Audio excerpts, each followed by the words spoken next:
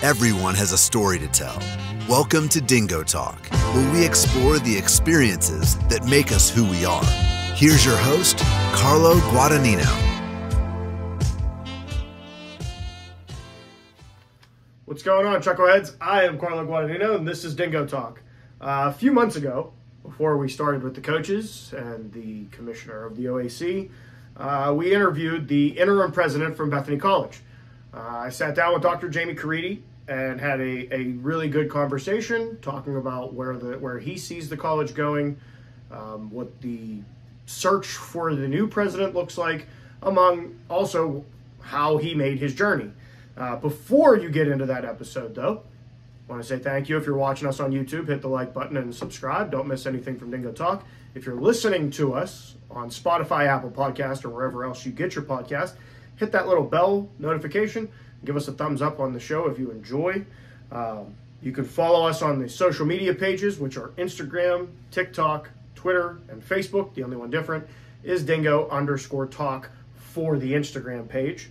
Um, but like I said, we're gonna sit here, and this this hits home for a lot of the people. Hi to my Bethany people from the alumni tour and the coaches show and everything else when when we were uh, still living in Bethany. Uh, but this is kind of a welcome back, get a little conversation with the interim president, and uh, find out what the plan is for the future of the college.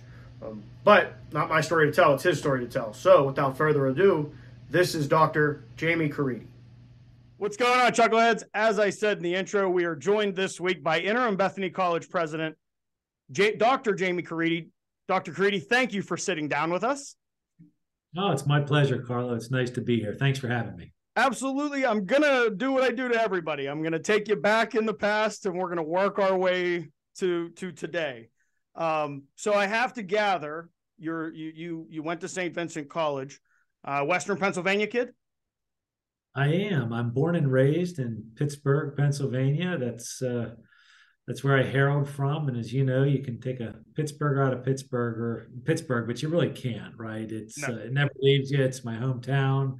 It's my heart and soul, and, and uh, lots of family still there, and uh, love it dearly. So grew, grew up not far from the foothills of Bethany, West Virginia.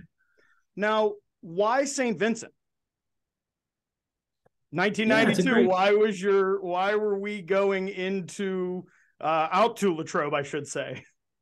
Yeah, you know, I knew I wanted to stay somewhat local. I happened to be a a guy that actually liked their family and uh, and still likes their family. So, you know, the idea of being real far away it was not appealing. I wanted to be far enough that mom and dad had to call before they showed up, like most uh, college co-eds uh, feel. And uh, my faith tradition is Catholic, so St. Vincent made the list uh, for that reason, as well as it had a very strong and still does natural sciences program. So uh, at that point in my life, I thought I would be heading to med school. I actually did spend a little time in med school, but um, but had a wonderful education there. It's a phenomenal small private Catholic college. The president is uh, a friend of mine. I actually used to work for that president when I was at St. Vincent for a while. So uh, it's got a special place in my heart, especially since I met my wife there and um, I have a big family, lots of kids. And if it weren't for meeting my wife, they wouldn't exist. So I, I owe a lot to my alma mater. Had a great small private uh, college experience. Now, for those that don't know, take us into what it's like to be a student at St. Vincent, because very similar to Bethany in the, in small class sizes and whatnot, uh, but worlds different in the fact that you can come off a of campus and you're 10 minutes away from something as opposed to the six mile stretch that nobody likes to drive down 66. Yeah. Yeah, you know, the early 90s were a little different than today. So you're right. It probably wasn't dissimilar to when students today are dropped off on Main Street and at Campbell's Village and in Bethany. I, um, you know, St. Vincent is and, and was a place where you have to make your community. You have to throw yourself into opportunity. You have to push yourself out of your comfort zone. Mm-hmm. And it's a place where you uh, can't expect it to be entertained all the time. You have to, um, you know, dive in the deep end and, and make your own experience what you want it to be. And and there is a lot of similarities between that and Bethany, and that's a good thing mm-hmm. because mm-hmm. I think that's one of the special secret sauces of small private institutions that you know, large institutions can't always do or replicate. There's an intimacy to attending a small private college. And I'm sure that was your experience when you attended Bethany. I know when I talked to students today, uh, just earlier today, I had a student in my office and she absolutely loves Bethany College. And when I asked her why, she didn't she didn't use the word the intimacy of the relationships there, but that's what in, in many respects that's what she was saying. And mm-hmm. that that's that's hard to replicate. So that was part of my experience and uh, that's why I grew a passion for small private faith-based institutions, and that's why I love serving as president of Bethany College at this time. Well, so you you touched on the fact that you you dabbled in in medical school, um, coming out with a biology degree from St. Vincent. Um, mm-hmm. What called you back? And I like I, I don't I don't normally use that phrase, but I heard you use it in a different interview, so I kind of wanted to pull that. Um, what called you back to higher education? Why get back? Why jump back in and not continue down the road of? I mean, you you become a doctor, just a different type of doctor. Yeah, yeah I'm the doctor on a plane that can't help you if you're having. um, look, uh, discerning what your vocation, calling uh, is in life is a process, and um, it's interesting. We expect 16 and 17 year olds when they're sophomores, juniors, seniors in high school to figure out what they want to do with the rest of their life. And the truth is, I find the most honest student is often the student that shows up and majors as an undecided for their first year in college because the truth is two thirds of students actually change their major mm-hmm. in college and um, that's just another indicator that it takes a pro it takes a while to really understand you know who you want want to be and what you want to do. And that was the case for me. I, I loved my time uh, at st vincent. I loved my time being a natural science biology major. Um, i didn't love the fact that on friday afternoons when all my friends were getting ready for the friday night festivities i was in a lab with you know lab rats or an autoclave or a uh, a project that needed to get done, a lab report, but nonetheless, it served me well. Not that I'm bitter about that, but it served me well. I learned a lot about my own capabilities, and then went off to medical school and um, did really well, but um, did not feel like that's where I was ultimately being called to be. And at the time, there was an opportunity back at my alma mater to uh, return in an administrative capacity, and um, I found that very intriguing. I was always a very involved student, much like I'm sure you were, Carlo, at Bethany. And nobody ever grows up saying, I want to be in higher education. That's just not what kids dream about, right? But then you learn this whole world exists. And it's a special place, and you can really um, you can transform lives, but you can also have your own life transformed by it. So that's what drew me back to St. Vincent in an administrative capacity, and I got the higher ed bug, and hasn't stopped ever since. So you get back to St. Vincent in 98 and then for a little bit you're you're there as the assistant VP and uh, dean of students. When do you decide that you're going to jump back in to your education for your masters? Yeah, pretty quickly. Uh, frankly, I I went back. My first job in higher education was as a director of student activities. Mm-hmm. Um, but then anyone that works in higher education, particularly at a small private school, you know there's an other duties as assigned uh, bullet on your position description. So I was like this jack of all trades. Uh, I had to do everything from setting up the AV for any you know tech event, you, mm-hmm. you name. It. And then um, you know after being in the space and in the field for about six months, recognize that it truly is a, a profession there's a lot to learn. There's a lot to learn about adolescent development, student development. There's a lot of developmental theory. Um, and so, you know, I knew that I was lacking that.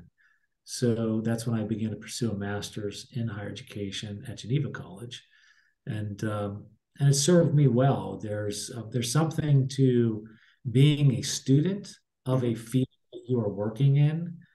You take it very seriously and you enjoy it a whole lot more. So I uh, now may have had to do something with the fact that I was paying for my own master's at that point. So I I knew uh, if I skip this class, you know what this class is actually costing me. I didn't necessarily think that way as a 18 year old freshman when I was, you know, happy mm-hmm. maybe miss an English 101 class, but um, definitely have appreciation for it. Um, so we're going to throw you a little curveball here. What if you could have, uh, let's say, a luncheon with three people? Who would they be and why? Oh my gosh, uh, living or your call. It can be anybody through history. It can be anybody in in the field. It can be somebody that you particularly would just like to sit down and have a lunch with. Well, I would be insane as a uh, person who uh, tries to live a life of faith to say uh, Jesus Christ would be on that list if if he'll have me for lunch. Yeah, yeah, understandable. Um, so I certainly uh, owe every blessing I have to him, and uh, and have a lot of questions for him as well. So um, the second person I would probably put on that list is uh, Father Ted Hesburgh, who was the president of Notre Dame for oh my gosh for four decades, I believe. Um, incredible uh, leader, uh, happens to be in the space of higher education, but he's just an incredible leader. He's a civil rights leader. He was an academic leader. He was mm-hmm. an advisor to presidents of the United States. He was a Catholic leader, uh, a Christian leader. So he he checked a lot of the boxes of um, uh, from a leadership perspective that uh, I admire and can continue to uh, learn from. So that would certainly be of interest to me. I actually met him. He came back and was the commencement speaker one year at St. Vincent College. I didn't have the opportunity to spend much time with him though, and I really at that time did not fully appreciate uh, his body of work mm-hmm. and, and, all the contributions he made to American higher education. Um, I mean, the, the third a person or people, I would say, it would have to be my, my parents. They, they have, they're both deceased, and um, my dad's been gone. Uh, my mom passed just a few years ago. My dad, in particular, uh, he passed when I just had turned 20 at the young age of 55. So um, I've now lived more of my life without my dad uh, than with him, and um, we I've come to learn we were very much alike, and so I would have uh, would take that lunch to thank him, express my gratitude for his fatherhood, um, but to um, also just to have one more opportunity. So that's my list. That's a that's a pretty uh, that's a pretty interesting luncheon that's going to happen there because you're going to have Jesus, you're going to have a father, and you're going to have your father there all together, and what a conversation that could be. Um, so jumping back into your story, so you get your master's in 2002 um, and then from your resume, it looks like you jumped immediately into pursuing your PhD. Now, why choose? Why Nebraska? Why is that where you chose to get your PhD through? Yeah, great question, Carlo. At the time, I had already had four children, and I really wanted to go to the number one um, higher education PhD program in the country. And the two schools that consistently battle for number one slot in US News is Michigan and Penn State. Mm-hmm. And um, so I got into Penn State and I was thrilled because not a lot of people do. No. And I was attempting to do the uh, drive up to State College once a week. And I quickly learned that once that commenced, this program is really designed for somebody that uh, frankly uh, doesn't have all the commitments I have full-time job, four children, a spouse, living two hours away. So it became pretty apparent to me that um, you know, there's a difference between the best program in the country and the best program for me.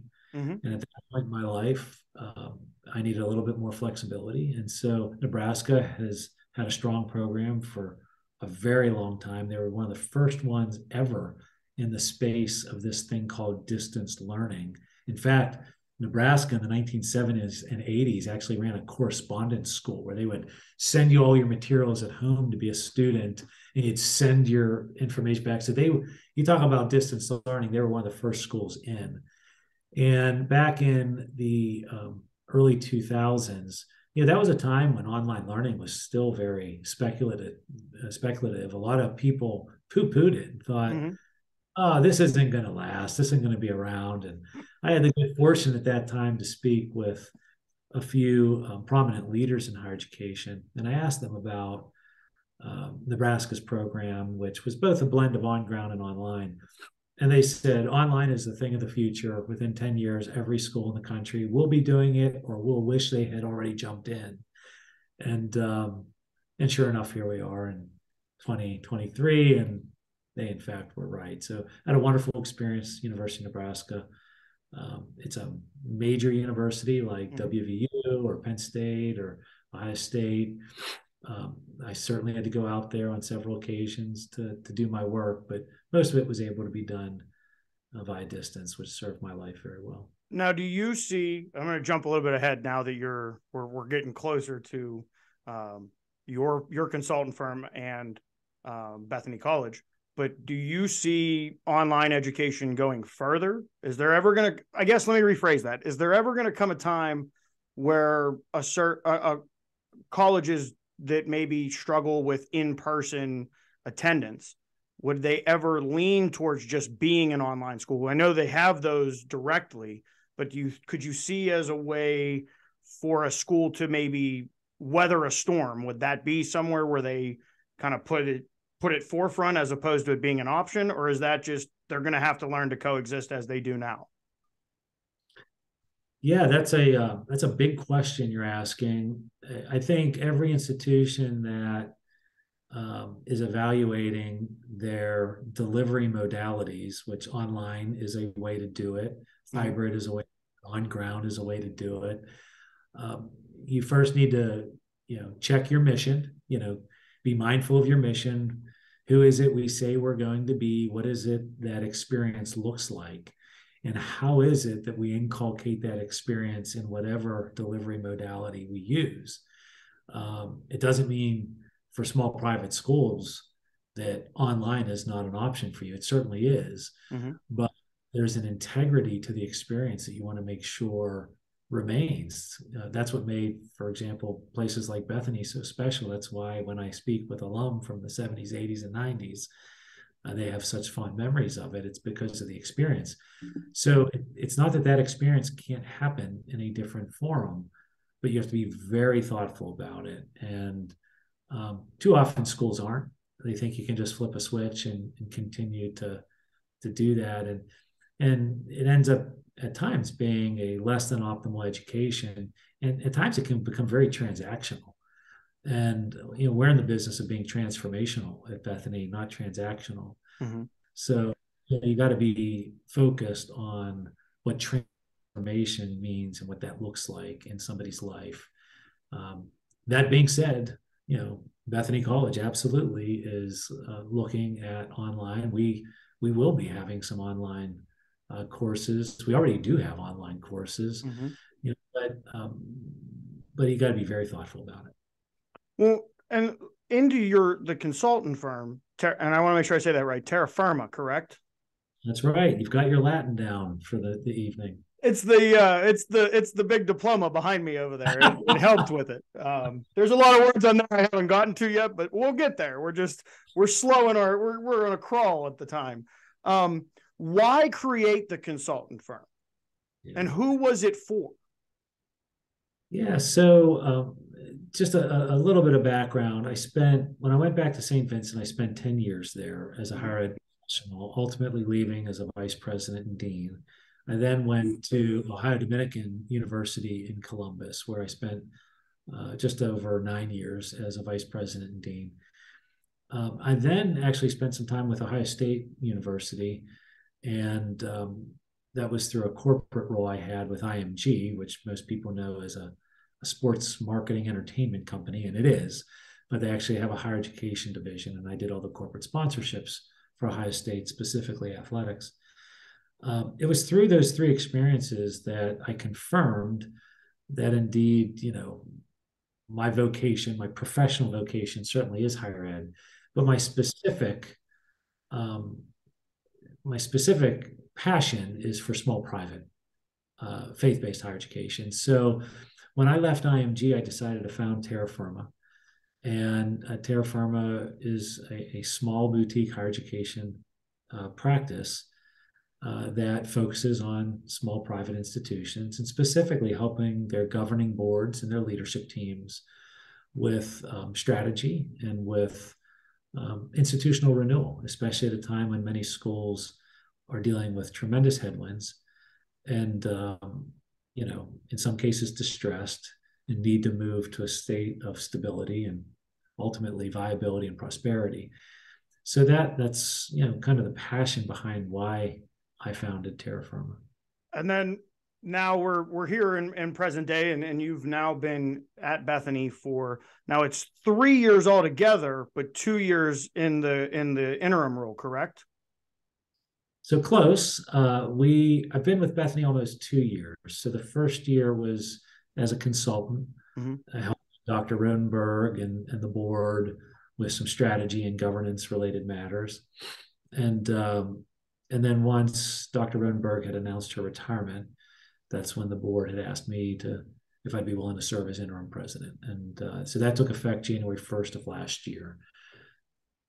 Um, so let's talk about Bethany. As an alumni, I've had a, I've had a number of people, a, a number of alumni on, a number of board board of trustee members on. Um, let's start with the the the the root of it. There's a strategic plan there's partnerships being made all over the place this year. You guys are very active trying to get um, alternate routes once you leave Bethany, how to further the education, further the um, opportunity that you're going to have. Um, what would you say the biggest issue currently at Bethany is, and how what what is the path that that we're on? Well, there's a lot to say to that as far as the biggest issue at Bethany. I think, um, you know, there's lots of priorities at Bethany College now. So I don't know that I'll use the word issues, but I'll say priorities that we mm-hmm. we have. And um, you know, I'll, I'll I'll articulate a few of them here for you. It won't necessarily be a completely exhaustive list, but you know, first and foremost, um, before I start talking about enrollment numbers, et cetera, we need to make sure that um, everything we do as an institution, our reason for being ultimately is the academic programs we provide, that we are delivering the highest quality programs of integrity, number one. Mm-hmm. So we start. Number two, uh, then those programs need to be responsive to the needs of the marketplace. Um, and the marketplace can be defined in very different ways, right? The marketplace is prospective families and students. It, it includes companies and corporations. It includes nonprofit entities. It improve, includes local government, et cetera. Mm-hmm. So we need to be responsive to the needs of those various constituencies. And then, um, you know, and then we need to enroll, you know, uh, students that are capable of achieving the expectations of our high quality programs of integrity. So, you know, that's uh, that's our charge. Mm-hmm. So um, there's a lot said there because number one, we're not going to water down our curriculum, or or nor should you. Should. Um, number two, the risk can be so you maintain that integrity, but if you start letting just anybody in uh, because you're chasing an enrollment number, uh, given the fact that enrollment matters, well, that also isn't good. It's it ultimately doesn't serve the institution well. It's an injustice, frankly, to the uh, to the student who uh, ultimately attri- you know ends up uh, you know attrition mm-hmm. and you know at times saddled with debt, et cetera. So we need to make sure that that bridge between teaching and learning is uh, you know not a bridge that's too far to cross for our prospective students. And so, um, so those are some of the priorities. Certainly, we're at an era of academic entrepreneurship and innovation on campus. So, you know, there's a lot of research out there that will, will you, know, you can pull up that will show that you know, most of what the fields that people are working in today didn't exist 30 years ago. Mm-hmm. So we've got to be part of that in innovation and entrepreneurship. That's why our faculty have created and approved six new programs in the last year. Um, that's a lot of yeah. innovation entrepreneurship, and uh, and that's going to continue. And um, yeah, the other thing that's a priority right now is strategic partnerships with our community. Uh, we've been executing a number of those with other educational institutions, um, K through 12, other post-secondary institutions, and now we're talking. Um, you know, we have robust conversations going on with various corporations as well on how we can serve their um, the needs of their workforce. So, you know, this issue of lifelong learning is real. So, yes, Bethany um, exists to serve the traditional undergraduate student, but you know, we never stop learning, and so no. there's no reason why we can't serve the needs of non-traditional students, adult learners, et cetera, all of the above. Well, there's a couple of things to unpack there. Um, one, for those the for those Bethany people that that have stayed with us through these hundred and some episodes, you'll be happy to hear that uh, the current enrollment is roughly about 600 students. The projected for next year is roughly about 700. So there's there's increase there. There there's wait lists for certain classes. There's uh, there's good conversation from a president standpoint, I would assume these are the kind of conversations you want to have. You, you know, where are we going to house these students? How are we going to get them into the classes they want? These are the things that get people more excited about. Um, almost like a hands-on. It's a hands-on effort. Uh, was that part of the five pillars to begin with? Because I remember when you had the town hall meeting and you introduced them. Was that part of the strategic plan? And the did you expect to see it happen this quickly? It seems like we've kind of really amped up the gears. Yeah, well, I appreciate that. Uh, I did expect that because that was our charge, and um, you know, there was a lot of reasons to be motivated to get a lot of things done pretty quickly, frankly. And um, so it's not that it was unexpected. I am pleased with the progress that's been made. We're just over one year since the board approved the three-year strategic plan. There were five pillars plan. I'll remind everybody those five pillars include academics, which I've already spoken about. It includes uh, the infrastructure, the campus itself, making sure we're tending to the 33 buildings and the 1,100 acres we have. It includes the student experience. What does that look like? Whether it's where they live, what the co-curricular experience looks like, um, what their career development looks like. Uh, it includes uh, the resources of the campus, whether it be, you know, you mentioned enrollment. I'm, I'm, I'm pleased with the progress we're making. Uh, in 2021 fall, we had 530 students. Fall of 2022, we had 600. You're right. Our goal next year is 700. You know, fingers crossed, salt over the shoulder, and you know, three Hail Marys. Hopefully, we get there. But, um, you know, we've got the ingredients to bake that cake for next year. Whether or not we'll hit exactly 700, I can't tell you right now, but but we're growing and we're starting to deal with the good kinds of problems. And you've already mentioned one where we're going to house all these students. Well, a, a, any president will take that problem any day of the week. And um, and the last pillar was strategic partnerships, and so I've already discussed that. So each of those pillars we're working very uh, hard on.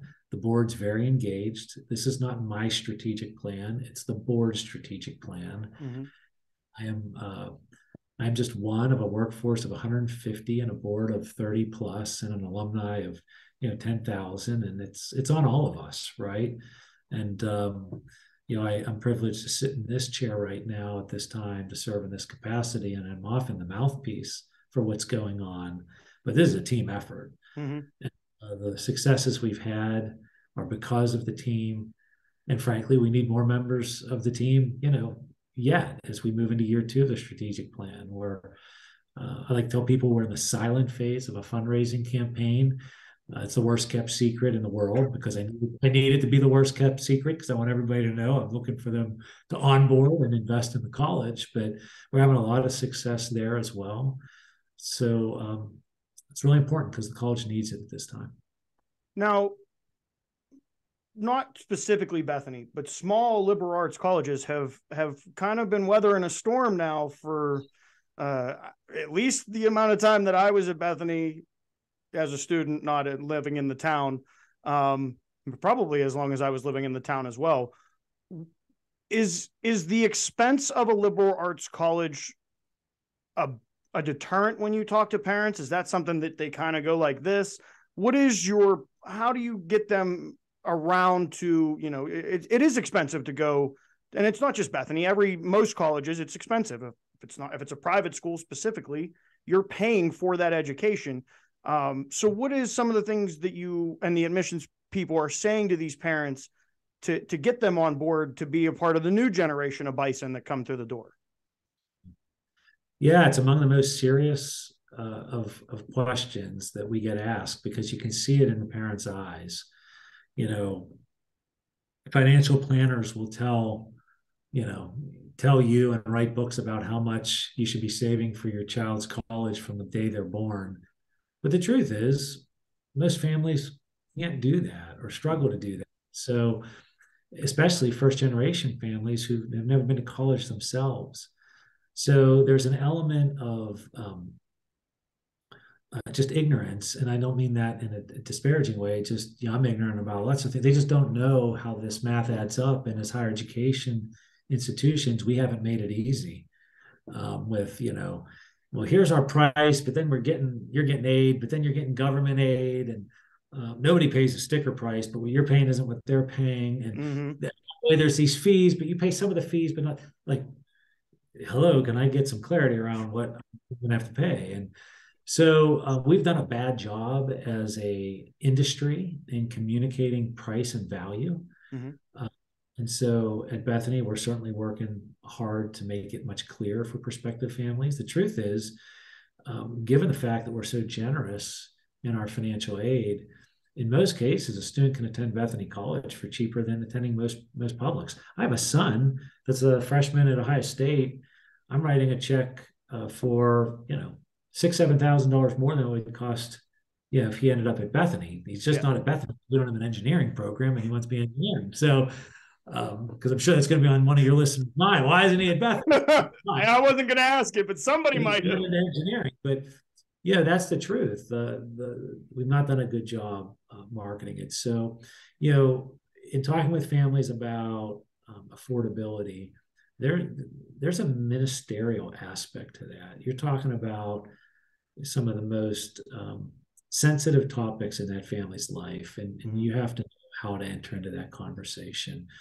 But um, you know, we've largely taken. I, I don't want to paint with a, a, wide brush here, but you know, because we're so generous with aid, you know, if, if somebody gives us a chance, we usually beat everybody else's package. Now that's a good and bad thing, right? You know, we we don't want to over aid people because you know those resources are really important for us you know doing the things we're doing and providing the type of experience students deserve so um, so i wish it was a more simplified process but we're working harder to simplify it for sure. We this past year we've collapsed a number of our fees et cetera so that it's you know kind of you know consumer clarity. So the prospective families can very easily understand what they'll um, their obligation will be when attending bethany. Um, so when you talked about the strategic partnerships, and and again, I, I'm going to paint with a broad, broad brush of what a lot of those are for a lot of colleges. When you talk about a strategic partnership with a with a corporation specifically, it it was for a while there. Well, we'll give you an internship, or we'll give the college a, a, a an internship program. What is the difference in the planning with these new partners? Or if you're not that far along, maybe we don't talk about that. But what what is the new thing that's going to be a part of this partnership with the organizations that you're um, putting together? Yeah, you know, internships are really important. Uh, we need uh, every Bethanian should have an experiential educational experience, and whether it's you're studying to be a teacher, of course, that's within the classroom, but um, regardless of your major, you should be having experiential education. So, yeah, I certainly don't mean to belittle the importance of internships and fellowships, things like that. But what I mean uh, by way of strategic partnerships that's different than just an internship is that um, it's the college being responsive to the needs of the community and that specific partner. So, for each partner, whether it's a corporate entity or, or nonprofit or whoever it might be, mm-hmm. you have to first understand what their needs are because once you understand their needs, you can respond to their needs. And once they believe and trust that you are the solution to their problem, they will invest in you being the solution to that problem. And, and that's important because we need some of those partners to help us underwrite uh, different things. Very few organizations today can go it alone. Um, you know, I don't care what industry you work in, there's an expectation that you're creating efficiencies through partnerships with others. Mm-hmm. And donors want to see that. Prospective donors want to see that you're in partnership with others.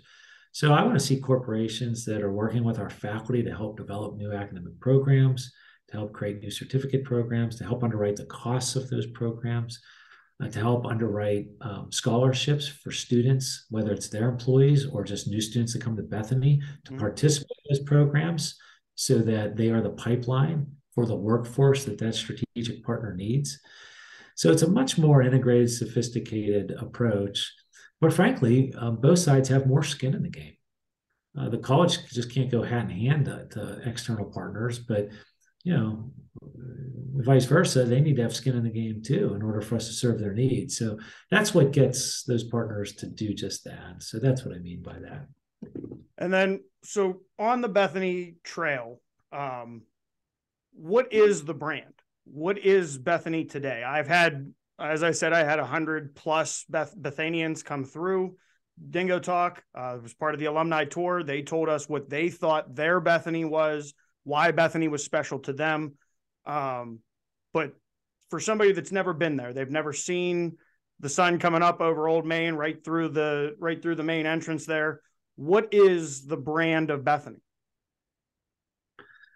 Yeah, let me say this, and you know I say this frequently because I truly believe it, and it's that um, Bethany, you know, by attending Bethany College and becoming a Bethanian, you're not just going to learn how to make a living; you're going to learn how to live life.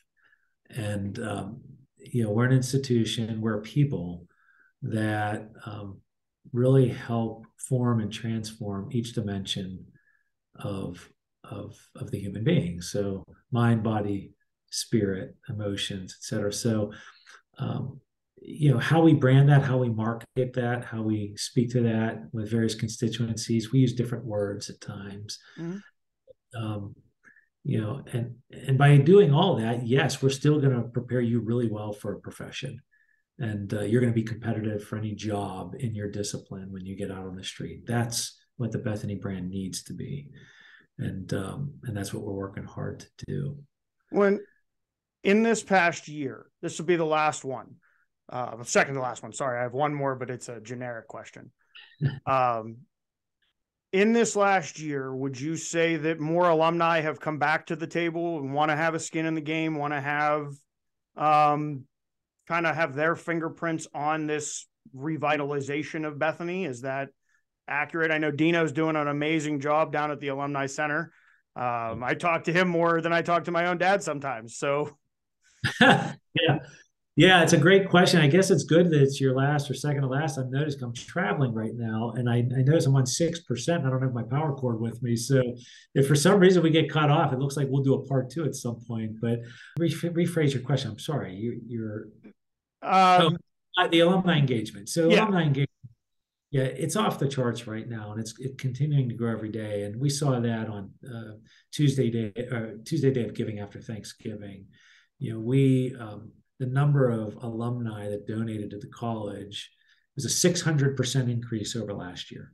Wow. So think about that. Um, there's lots of reasons for that. I think people are excited by the strategic plan, excited by some of the results we're having. Uh, they were excited by the themes we chose. We chose Greek life and the theater that evening. So I think you know, we've tried hard to listen to alumni. Uh, in case you don't know this, uh, you all aren't shy. And so you're more than happy to share with me your perspectives on things. And we're listening. And so, Wait, you don't say there's some bison out there that are that are not shy. I, I would I would not imagine that to be um, I've never had a conversation with an alumni that was that was not shy. You have to really bring them out of their shell. Yeah, right. So you know, we've been doing a lot of listening this year, and I think you know we're trying to respond appropriately to, mm-hmm. to some of heard. Are we getting everything right? Absolutely not. Can we improve better every day? Of course we can. But we're going to put one foot in front of the other. Uh, we're going to call balls and strikes. When we screw up, we're going to call it out. Mm-hmm. Uh, and we're going to celebrate our victories when we have them. And then the last question uh, I've asked everybody in our, in our new season here um, Was there a question that you expected me to ask? And if so, how would you have answered it? um, That's a tough one. I can't say there's necessarily a question I expected you to ask, um, but I'm sure my answer would have been yes to whatever. no, you know that was a little a politician in that answer there. I, I'm sure I would have said yes. Yeah, of course we'll do that for you, Carlos. So, look, I, would be remiss if I didn't say how grateful I am to you before we get off as as an alum, uh, as somebody that's um, you know you represent right in, in, the communications and the platform you're doing. It's been one of our most prestigious uh, majors we've had and uh, you're a great role model for our current students. So thank you for what you're doing. Uh, thank you for being a um, a mouthpiece and a ambassador of Bethany College. We need it, and uh, we're grateful for it. And um, you know that I'm happy to come back and. Well, as Dr. Caridi said, he was running low on a thank you for that the the kind words. Um, we are going to send it to our editor for editor's choice. Uh, this has been Dingo Talk with Dr. Jamie Caridi, the interim president of Bethany College. I am Carlo Guadagnino, and Serenity Brown is going to now take it away. What's going on, Chuckleheads? I am Carlo Guadagnino. That's Serenity Brown. This is the editorial with Serenity Brown. As you heard there, I'm just going to address it right off the bat. You didn't say it. this was shot many moons, many moons ago. This was shot. We uh, we shot this before we really got into the coaches and, and, the path that we've gone on this season. I thought it was important to get the episode out. Um, I think there's a lot of good things that are said. But before we get into her thoughts on it, because there are a lot of them, I'm sure, with both of us being Bethany alumni. Um, for those of you watching on YouTube, thank you very much. Continue to watch, hit the like button, subscribe, maybe leave us a comment. Tell us what we're doing wrong, how we can be better there are many ways. Um, for those of you listening on Spotify, Apple Podcasts, and everywhere else that you listen to podcasts, thank you again.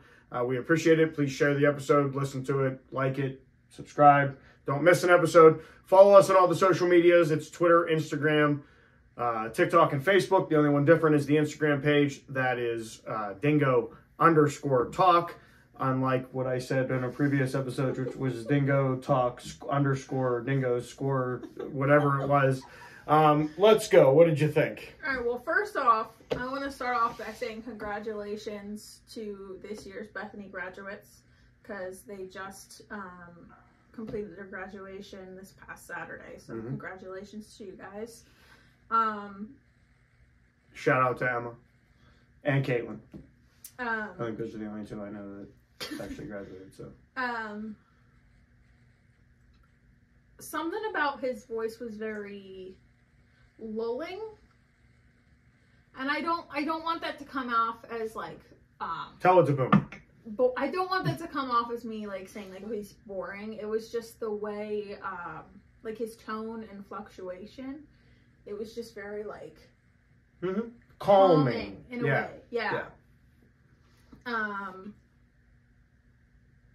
there's some very interesting, as obviously we're both Bethany alumni, some interesting like um, points and stuff that he had to say to improve the college. I I think that their their Bethany is being presented with an opportunity that most small liberal arts colleges currently in America are not getting the opportunity, and that's an alumni base that's now re-engaged. Very um, vocal. Um, seems to be very vocal and and the positive side from the administration um, is that they seem to be trying to take these things into account. Yeah. Now we all understand that there's there's financial things that go into this. Yeah, not everything can be it, it, it, can't it can't it's not it's not that it can't be done. It, it it's not going to happen overnight. Right away. Yeah. Um, you know, so if you're so inclined, if you're a Bethany alumni, make sure that if that's where you want to make you want to make a donation and you want to do that for Bethany College, that's that's what you should do. But make sure you talk to you know Dino and Millie at the uh, uh, at the alumni center, um, and, and, the other people that you can get if you if you have contacts on campus. Um, but make sure you donate to whatever you want to donate to. Make, uh, you know if you're going campus wide. If you feel strongly about a, uh, a particular. It doesn't have to be a sport. It could be the theater. The theater is something yeah. that I would hate to see go away from Bethany College. I mean, it, it's. I mean, yeah, it was. active in the theater and stuff like that. It's and and obviously you know, and and for those of you that were here for the first, I, what I don't know, hundred episodes, uh, Bethany is is very uh, near and dear to my heart. Um, I, I lived in the town. I went. Mouthpiece and ambassador. I knew it was going to come at some point. Um, it's just, it's an important place, and um, I, I, I agree with the, the strongest point that I agreed with him on was um, everybody that we had on before that they tell their stories, and it's you know we all created our Bethany. Mm-hmm. Um, some of us had Bubba's. Some of us had the Bubba's 2.0, the Bison Inn with Chuck, and not, you know, after Bubba died. Uh, most of the the people that are there now, they don't know what Bubba's was. Yeah. Bubba's was a place that I opened up the dance floor downstairs for them. What for your formals for- and yeah, I- I mean, it was a- it- so- stuff like that. but it goes both ways. You know, Mhm. the college got to has to obviously do a little bit more to help keep people at Bethany, Yeah, which I think they're heading in the right direction with some things, and we're going to have some other people from Bethany. but at the same time, The students the- have the to students understand. Have to understand that if you sit in your room all day, It's day going to suck. and don't make things for you and your friends to do, of course you're going to have a miserable time. You know, go to Chambers, go to Castleman, go out to the old cemetery, not the not the town cemetery, but the you know God's Acre where Campbell and his entire family and and and the people that are important to Bethany College and the town of Bethany are buried.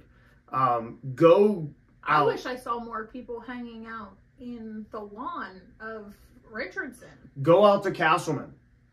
Go go find Frogtown for those of you that know what that is. Go How many people do? go explore. There, there, there's a lot of things that you can do.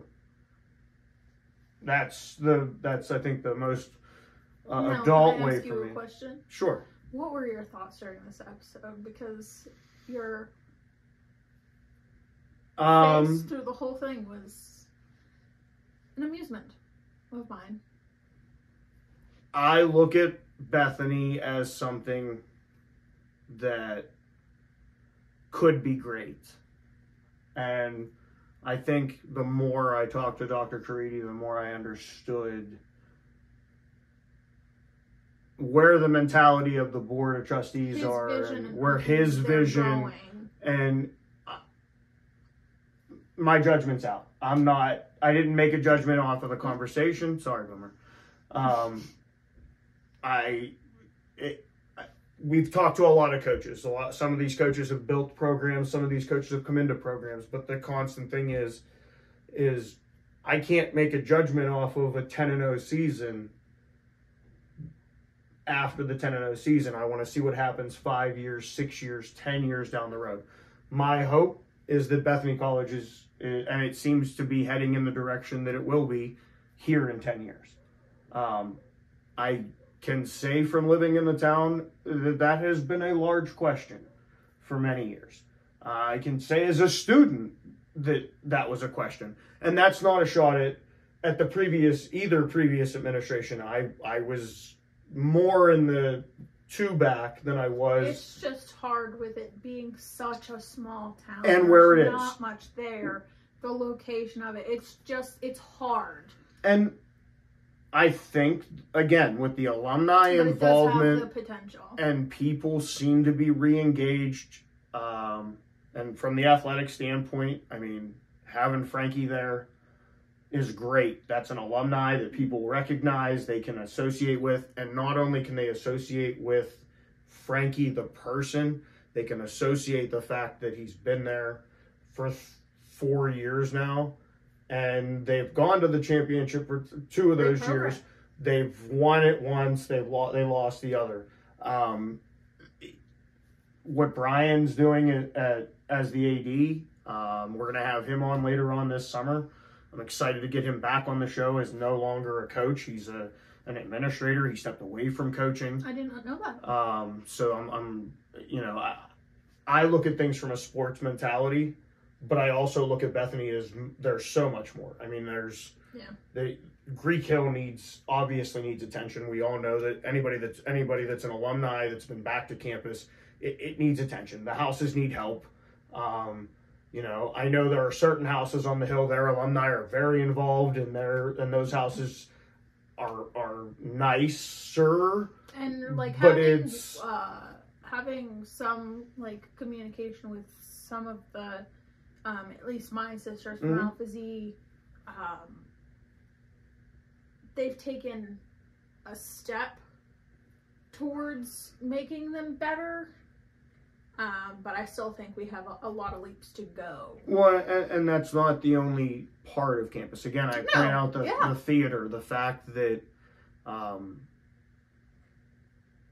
I don't think the theater was utilized enough when I was a student. Uh, that was just my opinion. Um, not somebody that was involved in theater. Did attend most of the the former head of that department's uh, performances. Very left very confused almost every time. But I think most understand that. people did. Yeah, I I think they. I think most of the actors were confused. Um, Sometimes. it's just nice to it's nice that we've stepped away from bethany we're not there i'm not there anymore i don't really Seeing it from an outside and perspective. and now. that's how i'm looking at it um and i wish them the best of luck i hope that it continues to be success i know they're adding programs they're adding athletic programs they're adding a- academic programs um so all of that it, it seems to be heading in the right direction um but again we're not there so it's not my judgment and i if i could afford to donate i would that's why we created the show was Yeah. so we could get some some exposure to the college and then you know now it's We've expanded just to expanded. other grown. other places. So welcome back bethany family. It's good to see you. Um, stop back again. We're still here. Um, that being said don't forget if you need help get help. If you need to just take a day or a couple days for your mental health do that. The job will wait. It's not a big deal. The class will wait. You can talk to people you need to talk to people. Um, and i mean obviously may being mental health awareness but it, it shouldn't just be about this month. I, I, I know i'm now the second week in a row and it's going to be the second week of may and it's the only time i've ever talked about this. But it's uh it's very important for uh, if you need help get help.